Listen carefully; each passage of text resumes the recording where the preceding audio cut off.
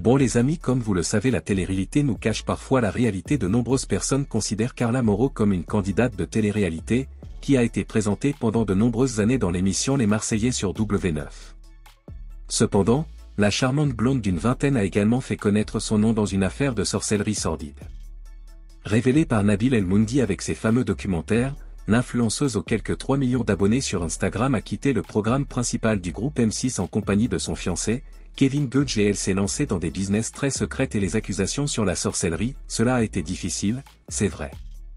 Lorsqu'il y a eu cette histoire, nous avons maintenant décidé de faire une bulle autour de nous, avec Kevin, pour rester avec nos proches et pouvoir se relever petit à petit.